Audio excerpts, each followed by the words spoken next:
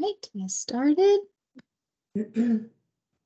Hi, everybody. Good afternoon. I want to welcome you to our January um, webinar for GAPQC for optimizing newborn nutrition. Um, happy 2023. Hope everyone um, had a great new year. Today, we are going to be focusing on lactation risk assessment and the warm handoff. First, we're going to start with a few updates. We have um, some conferences that are upcoming we wanted to share with you all. The Georgia AAP Winter Symposium uh, will be held on Saturday, February 4th. Um, that is here in Atlanta, and um, it's in collaboration with the Georgia OBGYN Society. Um, part there's a really great lineup of faculty who are speaking, um, including Dr. Taryn Fairley and uh, Deborah Taylor from our neonatal committee. Um, you'll be hearing from uh, Dr. Fairley today on our webinar. Um, so if you are interested in attending that symposium, um, we'll put the link for registration in the chat. It'll also be in the email that goes up um, out for follow-up after the webinar. Also, Emory's um, 33rd annual conference on breastfeeding will be held March 13th to 14th at the Emory Conference Center. That does carry 10 and a half hours of CE for nurses, physicians, dietitians, lactation consultants, and uh, support providers. And we'll have more information to come on sponsored registrations from GAPQC for that. Registration did open today for the conference, and we'll make sure that that link is in the chat and um, sent in the follow-up email as well. And then finally, lots of meetings um, in this uh, future. GAPQC uh, has the annual conference April 13th through 14th, also at the Emory Conference Center, and we will be sending more information on registration to come as well. Um, the 13th is in person and virtual, so it's a hybrid and the 14th is all virtual. Um, so lots of opportunities for attendance there. We'll also have some um, information on sponsored registrations for that um, that we will be sharing. Uh, this is more information on that winter symposium. We'll be sending this out, um, as I mentioned, with the registration link in the follow-up email. And finally, um, Georgia mm-hmm. Speak Up for Moms and Babies. We mm-hmm. mentioned this a lot in the fall. There was an October training opportunity. Now there is a May training. It's the Speak Up Champion Implicit and Explicit Racial Bias Education. Um, that is May 11th and 18th, 8:30 to 12:30. Um, I'll put this registration link and the code in the chat and the follow-up email. This is uh, funded through a grant from Healthcare Georgia Foundation, so it is free for you to participate. This is for folks who have not previously participated in a Speak Up Champion training. So if you have participated, please share this with folks on your team who may not have participated. Um, if you and if you have not, please register. Um, there are um, still registration spots available, so we'd love to see um, you all um, in that training. And um, that is all the updates. We'll have a few reminder dates um, at the end, but we wanted to get into our content of the webinar. So I want to hand it over to Dr. Fairley and Claire Eden for that part of our webinar. Okay, let me see if I can get my screen shared here. window.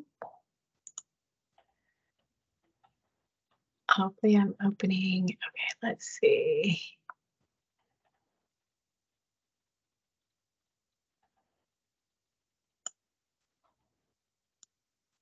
Okay. So our topic today is lactation risk assessment and the warm handoff. Dr. Fairley and I, you're probably tired of us, but we're we're the ones presenting to you today this information that um, we really had particular ideas in mind. So we decided to be easier for us to present. Um, and we wanted to start out with, um, you know, kind of harkening back to um, information that we know um, based on the maternity practice and infant nutrition and care um, survey that's done by the CDC.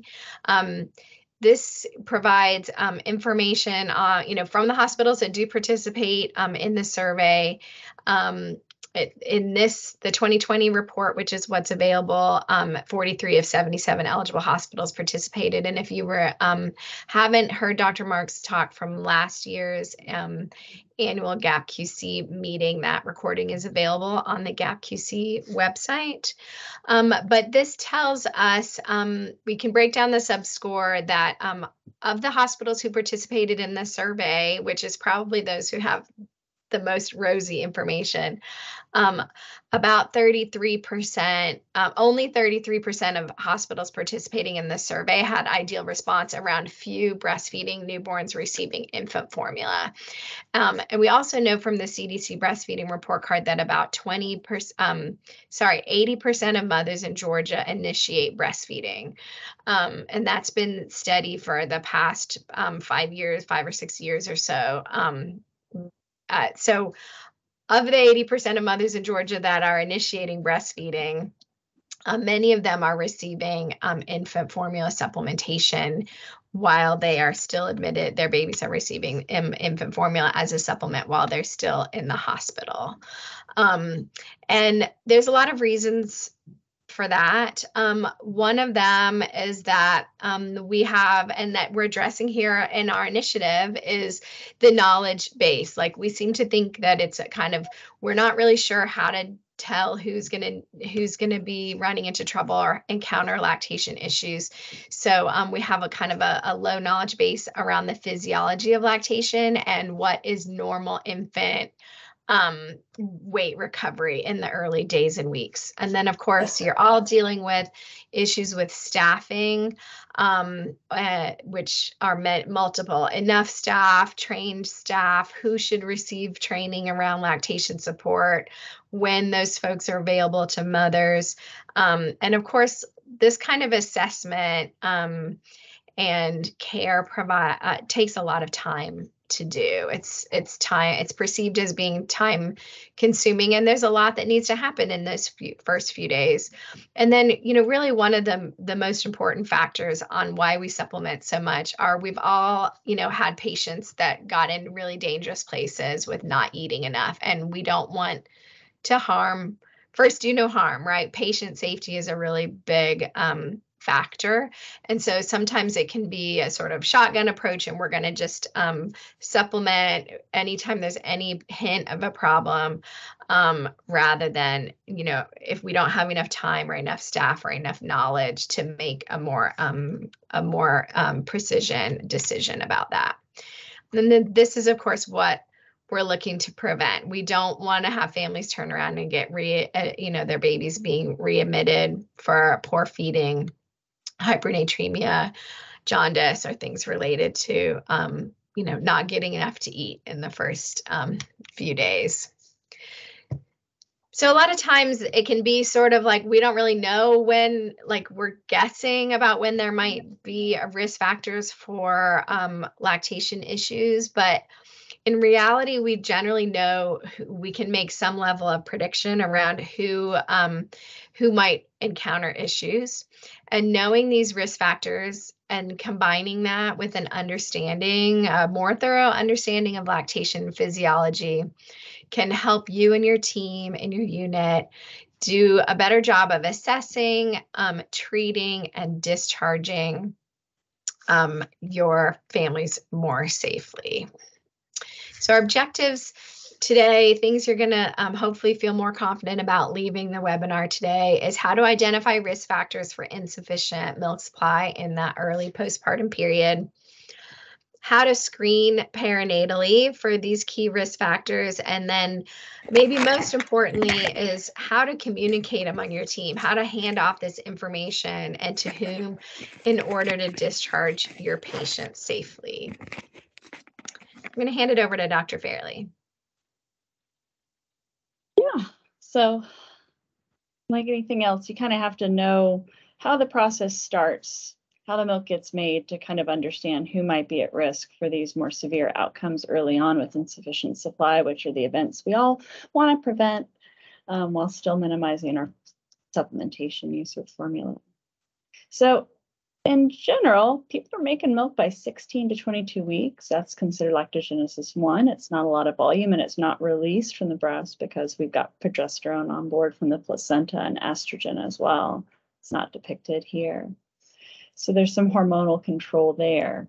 And then at birth, with the release of the placenta, we drop our progesterone levels quite precipitously, as you can see here from the arrow um, all sorts of inhibition is released, and we have a nice spike in prolactin right after delivery as well. And that brings copious onset of milk production or lactogenesis to L2 here in the diagram. L2 and L1 are both um, endocrine or under hormonal control. Um, and then somewhere over the next three months post delivery, um, after the milk arrives, after the milk gets made, thanks hormones, um, your body decides how much to keep um, through local or autocrine control. Give a little bit more info there. Next slide.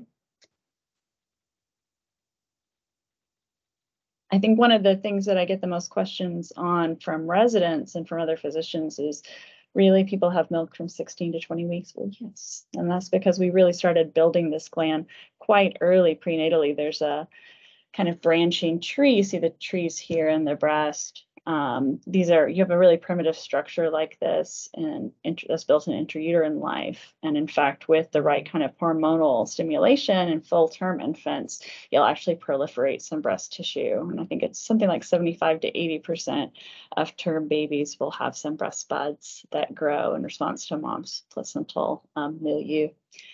Um, after the after those levels, you know, subside, they go away, thankfully um, until puberty, when that structure gets developed, the branching trees fill out. Um, you get all the nice arborization in the ducts that hopefully at some point in pregnancy will be completed. So while this tree here that we can see does have its nice little branches fill out, we really don't fill out the lobes. We don't make the cells. We don't make the interface to make milk. We don't actually make the cells to make milk until that first um, trimester pregnancy. So while we start prenatally, we really don't finish and we really don't know what's there and what works until first trimester of first pregnancy. Next slide. I always like to take this moment to re-emphasize something that I think is a bit of a misconception about supply.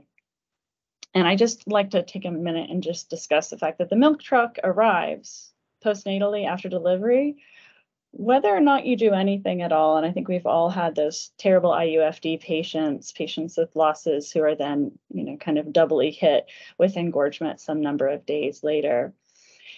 You can do absolutely nothing and have engorgement, and that's because L2, lactogenesis 2, is under hormonal control.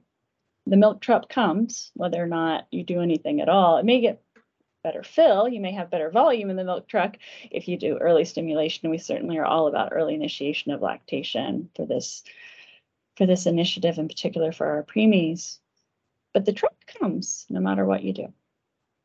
Next slide. And this hormonal control that we're talking about is various things. So you see here on the left, we have kind of a crude drawing of a placenta. It's a lot more complicated than that, doesn't it? And dropping out the progesterone here in the diagram helps you make prolactin, gets your milk synthesis going. Um, decreasing dopamine also helps get your prolactin production going, adequate cortisol levels, adequate thyroid hormone levels, insulin, growth hormone are also all required for milk synthesis. I usually use this graph to just kind of underscore that these are the things in control and that you do have to have a drop in progesterone, and that's important for people with things like retained products of conception that'll delay lactogenesis two. Um, and also to underscore that milk synthesis and secretion are in two different pathways, two different parts of the pituitary gland. And so that milk ejection reflex, that letdown reflex, is mediated by oxytocin release from the posterior pituitary, and more about why that's important in a minute. Next slide. So we talk a lot about the milk trick arriving, whether or not you want it to, and a lot about the hormones involved in lactation, because when people think about supply issues, it's this slide and these kind of underpinnings that I think come up first and foremost. And it's important that we recognize that autocrine control is most of people's lactation time, right? Most of the time a dyad is feeding they're under autocrine control. And so to set people up for success, this does need to be covered. So this autocrine or local control is purely regulated by removal. It is a use it or lose it situation once supply has come in, once the truck has arrived, right? And if you don't use it, you make this feedback inhibitor of lactation, this whey protein that signals the lactocytes to downregulate production. There's still some hormonal effect, as you can see from the prolactin dropping, but over the three month period of time, actually, your prolactin levels drop quite, quite low. Next. But again, the milk truck is self-driving. You have no control necessarily when it arrives to some degree, and it's going to arrive no matter what you do because of this hormonal control. Um, so in the early postpartum period, which is when I think this is what we're all talking about with respect to our patients. The endocrine is so much more important than endocrine, even as the weeks add on. And I usually say until about three to four weeks postpartum, there's still a lot of endocrine control that's going on and some in, significant influence. So this feedback inhibitor of lactation doesn't really weigh in quite as much. So early supply issues like profound low supply, no milk, which is how we're going to characterize it here in this talk, or delayed lactogenesis two. So greater than seven days postpartum is how that's usually defined, or slow milk. They are not caused by failure to not breastfeed enough. Okay, and I say this because I think one of the other motivating things, um, or something that's often a concern for medical professionals, health professionals in general, is guilt associated with breastfeeding experience and making moms feel guilty or insufficient. And realistically, there are a lot of women who have some of these other causes of low supply that we're going to cover here in a minute that are made to felt made to feel like they just weren't doing enough to get their milk going. So when we look at low supply, we tend to break it down, and the physicians and the audience will recognize this kind of thinking. Kind of like we do with renal pathophysiology, we break down low supply into kind of three areas. Um, so we've got preglandular, so before the milk making gland, the mammary gland, where hormones block the stimulation of the gland to make or release milk. So people who have postpartum thyroiditis, um, although we usually note them a little bit later on, closer to the end of the first month of life. Um, PCOS, insulin resistance, GDM, more about that in a minute. Um, and then oxy oxytocin reflex disruption from shock, systemic illness, surgical stress, moms who are hypovolemic from you know a big EBL, our moms who need transfusions, things like that. Um, because with with those kind of systemic stressors, you're not going to get the reflex working right as well. Seems like a poor design, really, in human history, considering how dangerous childbirth can be. Um, in terms of glandular causes, that's where there's just really not any gland there that's able to make milk. So these are people with um, insufficient glandular tissue, and we'll talk about that more in a moment or who have secondary breast hypoplasia. So they've had radiation or surgery, most notably breast reduction, and just don't have a lot of tissue there. Um, and then postglandular problems are the most common, but really are not the purview in terms of the early postpartum period of which we're speaking. Um, they are important. It's something I think everyone should recognize that there's poor trans there's transfer issues. Failure to remove milk means you get decreased supply. But again, that's later on in the lactation experience typically than when we are of which we're discussing. Um, and then separation, early separation. Um, so just no opportunity. So not transferring because they're not there or not transferring because they just aren't able to do so well. Next slide. Claire? Oh, are we to me already? Okay. Um, let's see, let me get back to, I'm like looking at two different screens at the same time. So who are some of um, folks that might be um, at risk of having um, delayed lactogenesis? Um, the, you know, we've kind of gotten an introduction here, but um, pain um, impairing letdown um, is going to be an important um, angle. Um, that reflex that Dr. Fairley was talking about and then uh, the and related to that, and then insulin resistance such as prediabetes, PCOS, um, DM2, and then particularly insulin dependent gestational diabetes. Um, these are, are pretty um, big risk factors for delayed lactogenesis. And there's more um, and more research kind of happening around this um, all, all the time. Um, It's just a webinar. Um, so, uh, if you can double check if you're muted, that'll, um, Oh. help everyone be able to hear better. Um, so, um, some of these delays, um, are delayed, some of these factors can delay milk supply and some of them can simply impair, uh, milk ejection reflex. And so why do we want to have sort of a specifically focus on insulin resistance or, or how does insulin resistance, um, uh, delay lactation. And um, part of this is the decreased prolactin response. Um, and part of it is related to the um, the just how fast or how at what the timeline is for those shifts that we were looking at in the um, in the graphic that we use in a lot of our talks. It's so helpful to understand the progression and the physiology of lactation. Um, and then also um, a lot of um, the factors uh, contributing to lact that shift um, and is that you know the drop in progesterone and then how the progesterone has been suppressing lactation and then how many receptor sites or the activity of those receptor sites for the prolactin. Um, so the prolactin receptor sites sort of like waking up and being able to um, receive the message that the baby's here and it's time to be making milk So actually, as well, Claire, and I for, forgive me, this is my slide, and I should have jumped in Yeah. when you grabbed it.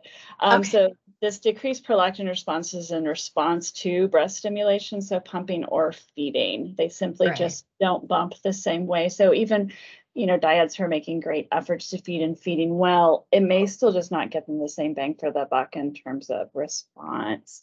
Or it may just take longer to get up to a prolactin level that they need. And this delayed decrease in estrogen, this is brand new stuff. And I actually found this this morning. Like, "Hmm." In general, just estrogen levels, like when you withdraw the placenta, right, you drop estrogen and progesterone. And in general, thought to be because of ex- excess adipose tissue. Um, but even in relatively lower BMIs, they found that the estrogen level just tended to drop a little bit more slowly. So it just slows everything down in terms of production. And then we have so many more receptor sites and the lactocytes um, than we really can utilize and kind of gig the machinery. So this is actually specific for insulin, which you do need to make milk. You guys saw that on the flow chart that we had Mhm. before. Um, but there's so many more receptor sites, and so you don't get enough of them occupied. And in general, this just mainly slows down synthesis. And in my studies, they actually see full engorgement in day of life 17 to 18. So this is why we're talking about this. People are like, meh, I see people with gestational diabetes all the time. They seem to do okay in the hospital with breastfeeding. As an outpatient breastfeeding medicine and pediatric provider, let me tell you that they come in with really starved little chickens and nobody wants that. Um, and that's because it can take a good bit longer than a baby is able to wait. Right. So the idea, if I'm hearing you correctly, then is that the prolactin response is somewhat muted, right? So I mean, on the on the graphic, it shows prolactin is high after birth, but really it also even is jumping when a baby is feeding or when you're pumping or hand expressing. So that that jump is being muted with the insulin resistance. Is that right? Correct. Yeah. Unfortunate. Um, so these are risk factors for um, really having um, very little milk production at all. And um, one of the main um, kind of tip offs is um, women who have really no breast changes at all during pregnancy. Um, you know, generally we're going to see in the first trimester that they have fullness, their nipples or breasts feel sore or tender, um, that they um, may notice veining, um, either, you know, raised veins or in light skinned women you'll see blue lots of you know increased vascularity. Um, and then just general size having to buy new bras is like a little shortcut right? Um, to ask. Some people will say they didn't really notice breast changes but if you go through those specifics um, not having any of these type of not having noticeable glandular changes in pregnancy is a pretty big um, red flag for um, really having very little milk production. And then history of breast surgery, injury, biopsy, lumpectomies, reduction. Um, so both reduction and augmentation can be meaningful. Um, you know, breast reduction is basically taking, you know, removing portions of a functioning organ that has been is sort of sleeping at the moment. Is not active um, but when you take out large sections of that it can interrupt um, vascularization and um, nerve network in the in the organ. So um, a history of breast reduction um, can really affect milk production and some of the nerve issues can also affect even if the breasts are filling um, and had changes during pregnancy it can interfere with milk being able to exit the breast.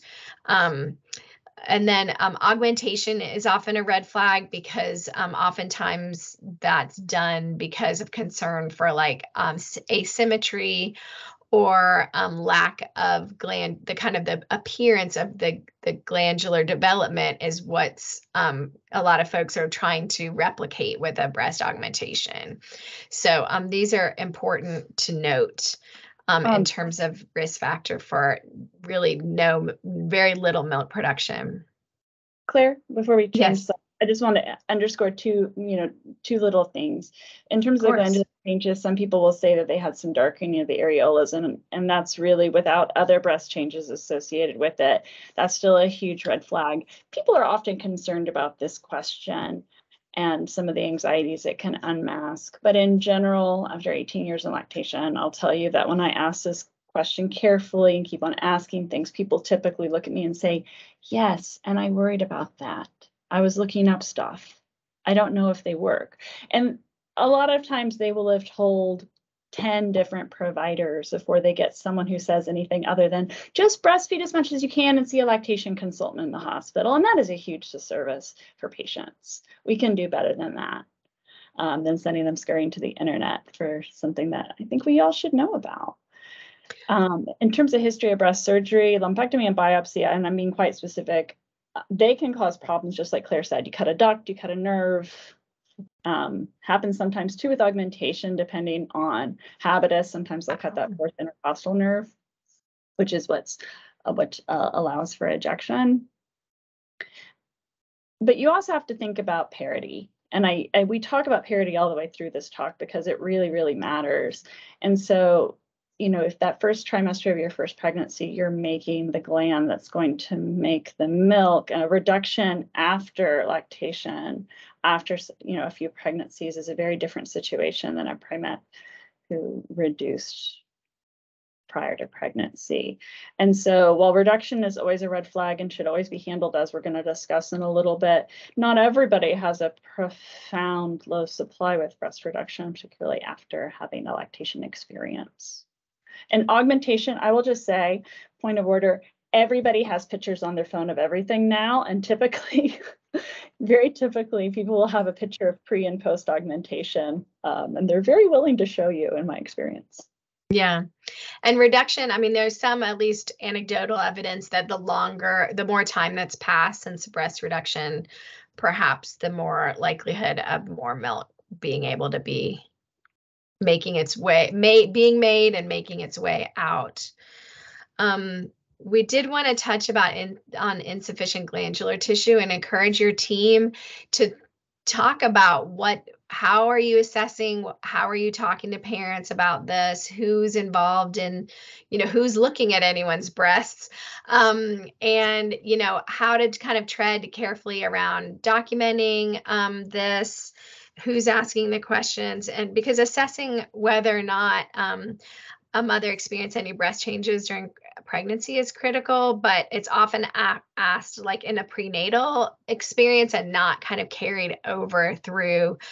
Um, and and and we want to encourage your your group to discuss, you know, how are you passing this information that's critical to triaging lactation care and to making a feeding a safe feeding plan. Um, you know, the in terms of IGT history, you know, the, is perhaps more important than the, the physical exam. And um, it's okay to be, say, like, let's see how it goes and encourage folks to breastfeed and, and make sure that you're connecting them with extra support. This can be a factor in terms of like triaging your IBCLC care, which, as we've heard in other webinars, is you know limited in most hospitals, um, and not making a prediction. Claire, can we go back and actually take a look at the pictures Yeah. a little? bit? I think Mhm. this is probably a lot of the first time that a lot of this group has ever seen these. Mhm. Um, so these are kind of the stigmata for IGT. Um, and but in general, um, this applies best to with with the exception of type four, which is obviously pretty profound hypoplasia or lack of gland development, less of lack of breast development. It's it can be quite hard to tell, especially with multips, um, just by exam. But you know, things like a narrow flat base, a high fold, widely spaced breasts, a lot of asymmetry is concerning. But you'll notice here is that this little or no growth during pregnancy or little or no engorgement. Next slide. Uh, That's really the best predictor. History, I mean, 98% of diagnoses, right? That's what they tell us in med school. 98% of diagnoses are really truly established by history, not necessarily the labs you get or the exam you do. And you want to be very cautious by assuming in assuming that anything that you're seeing on exam is the whole story there. The proof is in the tissue. And so with primips, we really, really, really don't know until they go through the entire cycle of lactation if what they're going to make. I've had people with really profound IGT make like 40% of a supply, and folks with just a little asymmetry who made 20 mLs all day long after eight pumping sessions. High quality removal, and they make very, very little. So you really have to see what they're going to deliver after delivery. Um, and and Yeah. that's why it's important not to prognosticate like, well, you I don't know that you're going to make milk. We never say that. We say, I think your your milk might be a little slower to arrive, is what I usually take pe- tell people, or there may be a little bit more risk for some trouble. We're going to make sure that you get some help. In general, these these people know and are already concerned about it and are glad that you recognize something that's been worrying them probably for nine months. hmm or longer and it it also connects to that issue around like whether you can or can't breastfeed i mean ex- can or can't exclusively breastfeed is a really different issue than whether you can enjoy a lot of the benefits and experience of breastfeeding um, both both the mother and the baby. And it doesn't you know it we don't want to imply that there's it's an all or nothing situation before people even have a chance to get started um, so screening for the risk of, you know, very suppressed milk supply. Um, there's a couple different opportunities to do this. Of course, um, you know, it's often done prenatally during, you know, a standard um, well check um, for folks who are receiving, you know, high quality and consistent prenatal care. Um, this is part of that process. Um, there's some really good opportunities that I think lots of folks are probably missing on admission to labor and delivery, um, especially if it's not like the baby's coming out right now. That these are some good um, questions that can be done on admission. Um, and then, you know, when when we're moving from um, labor and delivery to mother baby um, that that's a really good opportunity for handoff of this information. And then of course particularly um, for nicu admissions um, especially for very preterm infants or other babies that may be at high risk of necrotizing enterocolitis it's really important to be communicating asking these questions and then communicating. And um, i took a communication class in college and i'll never forget like just having that aha moment of communication is very basic, but communication only happens if somebody is both sending the message and somebody is receiving the message. So thinking through on your team how this information can be assessed for and how it can be communicated in between. And that's going to look a little different um, in different hospitals. So um, in that pre-delivery kind of um, opportunity, really we should be asking all patients about breast changes during pregnancy and any relevant medical history around breast surgery, injury, or biopsy. And then for multips, asking about their previous lactation experience. Um, you know, did they experience breast changes? Did their milk come in after delivery and how soon?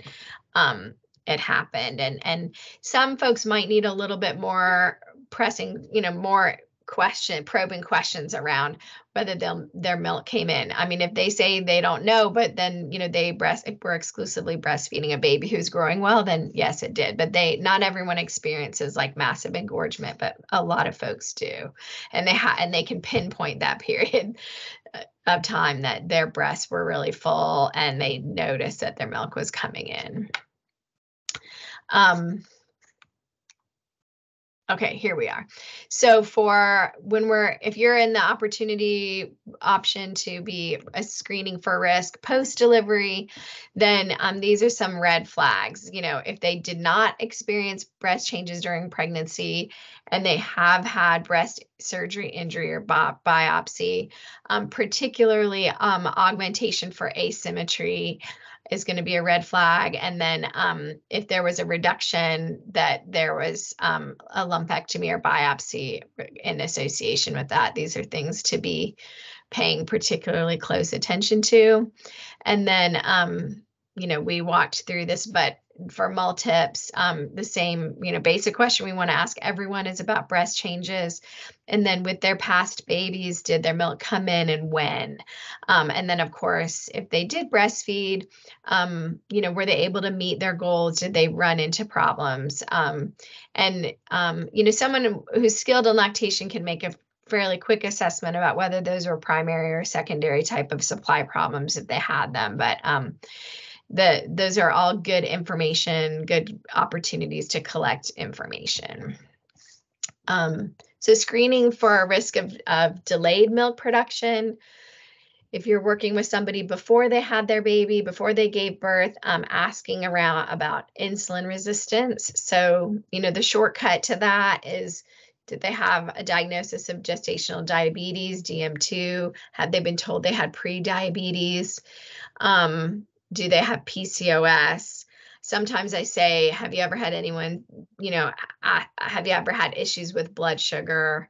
Um, if they didn't have a formal diagnosis.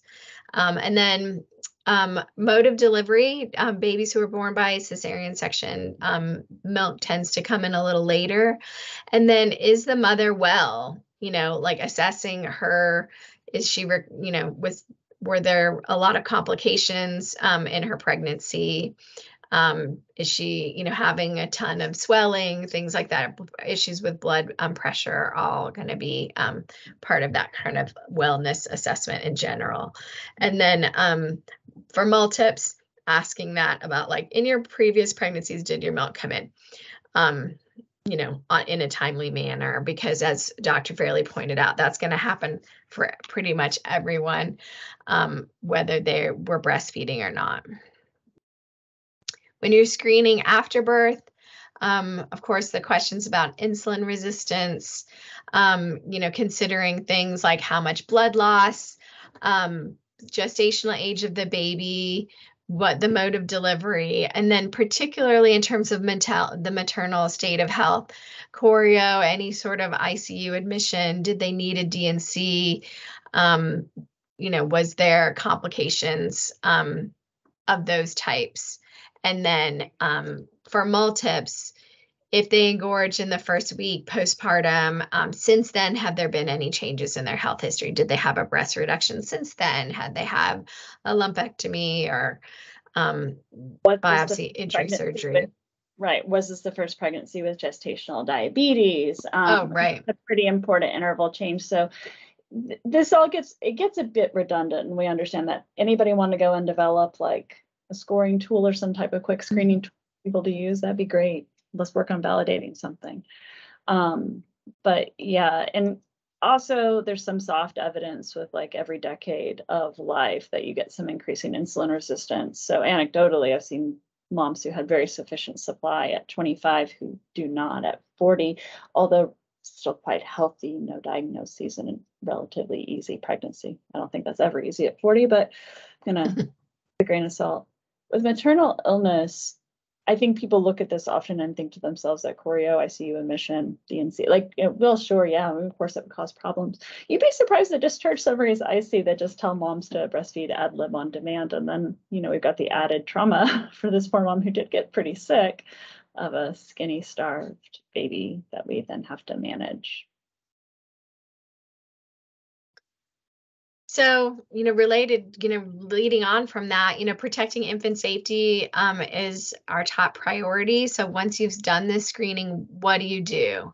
Um, an important, um, in you know, kind of strategy is to offer expert interventions early in the hospital admission rather than um, you know, I talked to a lot of hospitals ask like, you know, when, how do you triage or how do you um, sort out who's seeing the IBCLC in what order, uh, assuming you have an IBCLC or sufficient IBCLC um, time. And it, it's often based on discharge. And it might be worth considering kind of reevaluating how you um, distribute or how you um, handle those resources. Um, if you have screened and somebody is at higher risk than another person, then maybe they should be seeing getting that expert intervention earlier on, getting that feeding assessment earlier on in the hospital admission rather than waiting until they're being discharged. Um, and then, of course, the warm handoff to outpatient care providers as part of should be a critical part of discharge planning. Um, knowing who what resources there are for outpatient lactation care in your community um, and making a clear handoff to the community pediatrician who's going to be caring for that baby in the first you know weeks and months um, is important um, strategy to take that information you gathered in the screening and putting it to use. Um, so you know, me here. I was going to say, I think we're we're back to to me, and we're gonna have to pick up the pace a little bit. Um, not surprising with both Claire and I talking. So the infant safety piece, we, if a baby screens in as having a risk factor, if a dyad screens in as having a risk factor, we need to really check infant weight and assess it a little bit more than what we typically do by looking at percent weight loss using the Newt tool. And we'll talk a little bit more about that in a minute, preferably at 24 hours. Again, at 48 hours if still in-house and or pre-discharge. Some my C-sections, at least in my group, stay till 72 hours pretty routinely.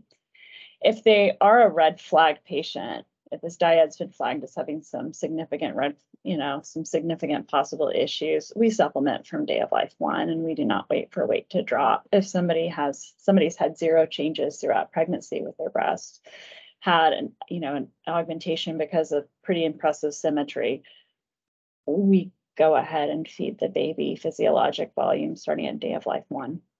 And so this is some guidance that I think most of us in lactation feel are are pretty physiologic and reasonable um, for a term otherwise well infants as a caveat. Next slide. Newt, this is one of my favorite things. And honestly, Georgia AAP has a has a really fun standalone video. I always think this is going to be a short portion of a talk. And when we did a standalone video for it, it actually took 45 minutes. So I'm going to try and rip through this because this is a nomogram like Bili tool. It's real data. It's 160,000 kids in Northern California, Kaiser it's pretty fantastic and helps you determine if weight loss or recovery is within normal limits. And it's stratified by mode of delivery because C-section kids do lose more weight. I think most of us know this. But in my in my time in lactation 18 years, I found that people are really permissive now and say things like, oh, I was a C-section kid. And I'm like, this kid is like bright orange and clearly dehydrated. Um, so we can't just use that guidance. We're scientists, people. Let's go. Next slide let's do some things. So this is what the interface looks like. The actual website is newbornweight.org. You need your mode of delivery. You click, of course, their breast milk feeding. Um, and then you put in your birth date, your birth weight. If you do the first three to four days, you do need times. Um, it's also particularly useful for outpatient pediatricians to use in the first 30 days of life. And there, it's not an hourly nomogram, it's actually a daily nomogram. Next slide. So, right. So like I said, and I usually add this slide in just for the people who have it on low volume. um, like I usually watch live webinars in the office and get interrupted by my nurse. Miracle it didn't happen today. Um, so this is the website. This is what the acronym stands for. Um, and like I said, it's around 160,000 babies, maybe a little less. And I, I use this to underscore that this is used in children 36 weeks or more, and infants 36 weeks or more. So if you're wondering if this applies to your late preterm crowd, yes they're 36 weeks. Um, and then, so this nomogram, you know, kind of sorts itself out. I think very similar to Bili Tool. A lot of times nurses will call me with a bili and say, oh, it's the 95th percentile. And I'm like, meh, we've got a problem. So what we have is that 90th and 95th percentile are problematic pathologic. 75th is concerning and 50th is just fine. We can go through and kind of explain next slide. So here's um, my standard case patient that I used to explain new C-section baby. He's got about 9% weight loss at 72 hours of life, getting checked out of the hospital after the C-section. And I think a lot of people would see something greater than 8% is what I see in a lot of care plans in hospitals and would be concerned about weight loss. And if you look on this graph, it's actually really close to the green. That's the 50th percentile. This is not that far off the norm. You probably want to make sure they've had some teaching, especially of Primipara, but this is not that far off the typical weight loss and recovery that's expected for a C-section baby. Next slide.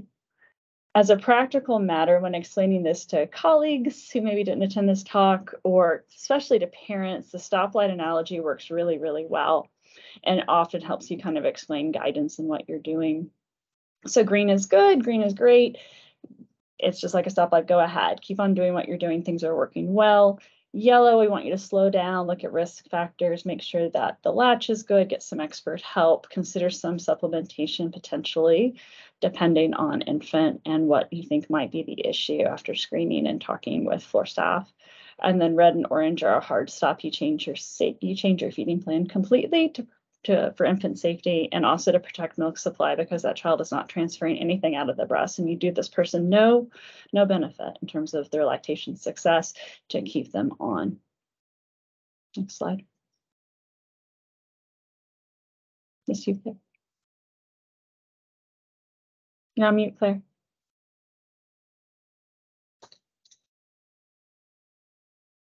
Claire, you're on mute.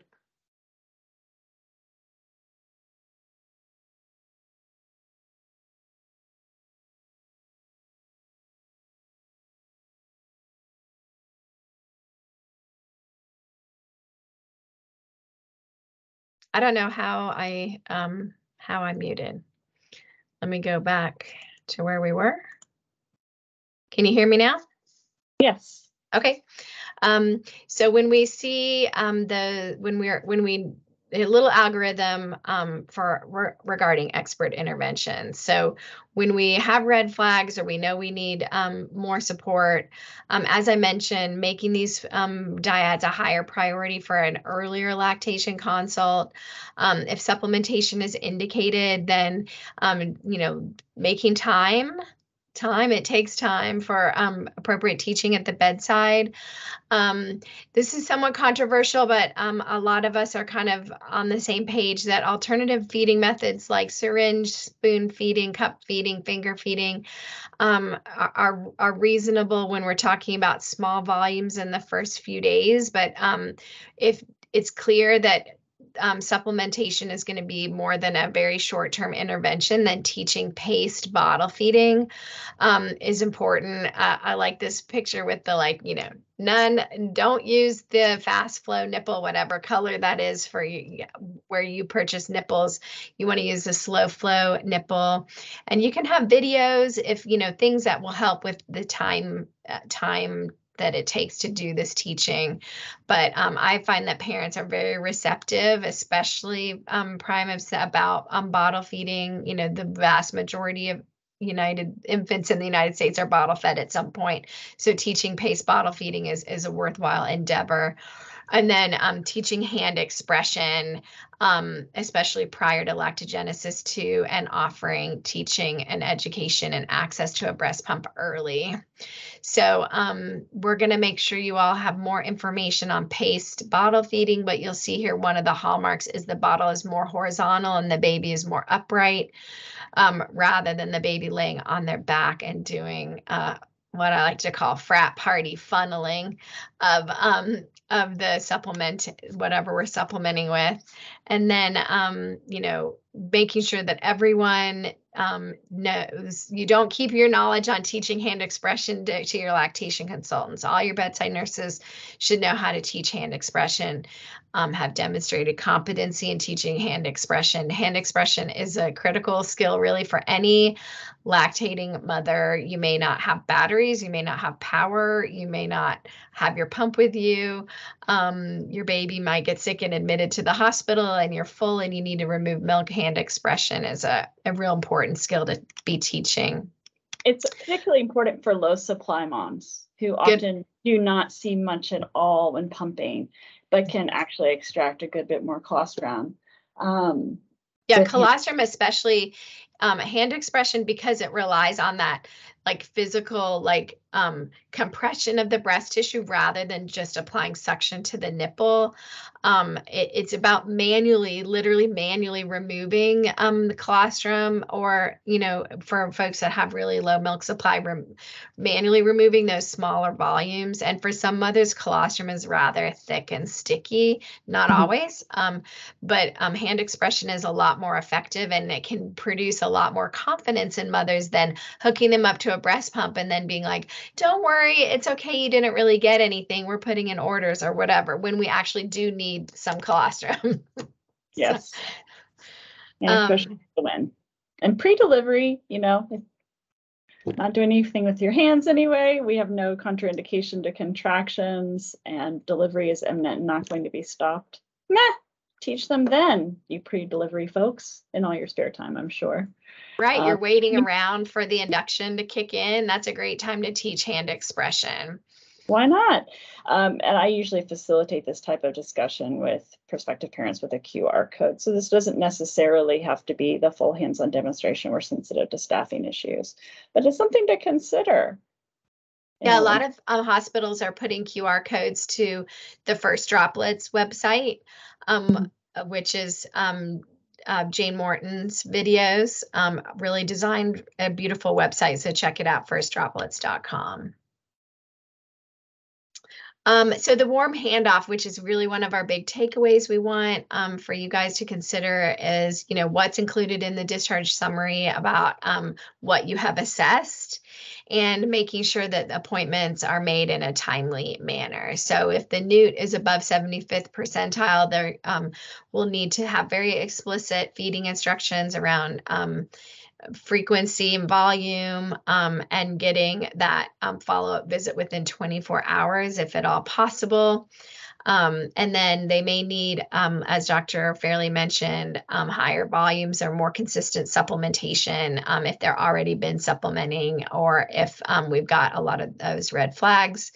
And then um, starting supplementing, you know, not literally at discharge, um, uh, if possible, if they're um, based on the newt. Um, you know, and whether we're doing that in addition to breastfeeding, um, as in after, or if we're supplementing first and then just working on breastfeeding um, as a kind of secondary factor. And then those for those both these scenarios, we need to talk through how to protect milk supply, ensuring that the mother has a breast pump to use at home.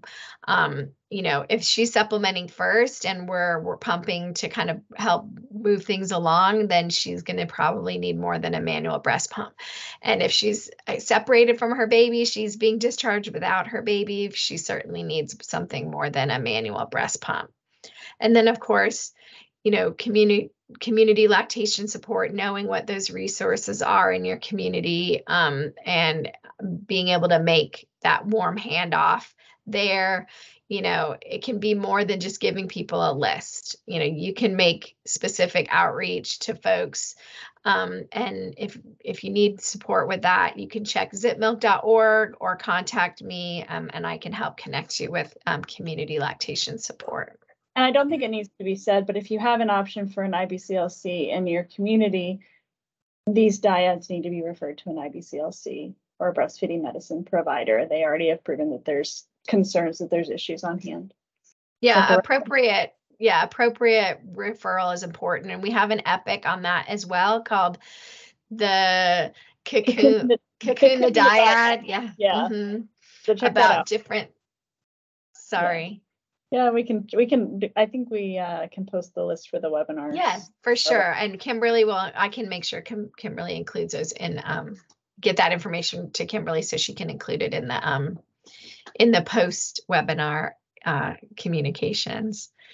Um, I think we'll have to skip these two. yeah, I was gonna say, well, um, just as a follow, you know, latch score, there are ways to assess um fairly objectively a feeding, um, rather, th- you know, and and especially if there's indication that there can be issue, the feeding does need to be assessed by someone who's trained rather than just saying like, hey, mom, how was feeding? Good, click, good on a drop down menu.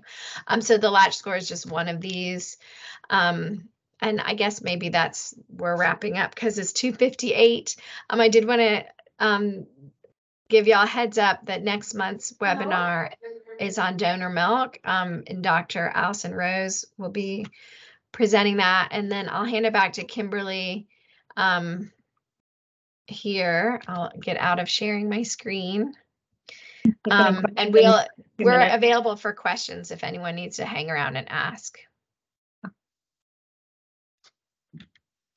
That was great, Dr. Fairley and Claire. Thank you so much. Are there any questions? We do have a little bit of time, and of course, you can always email questions uh, to me, and that I can make sure get along um, to Claire Dr. Fairley for some answers if you think of them later. I'm just scrolling up back through the chat to see. Oh, yeah, thank you to Dr. Patel for putting the link to Dr. Mark's presentation on mPINC. We did have really worse actually participation in mPINC this time around. It's every two years and we only had 50%. Mhm. Um, so I'm taking every opportunity I can to t- communicate how important participation and accurate participation in the mPINC is in terms of helping us identify um, areas of opportunity. And we're happy to help um, in the course of this initiative, if desired, help folks develop care plans, screening tools, whatnot, kind of based on these assessments. We don't want to assume what people want to chart and how they want to chart these things. Um, but somebody needs to know this information and hand it off.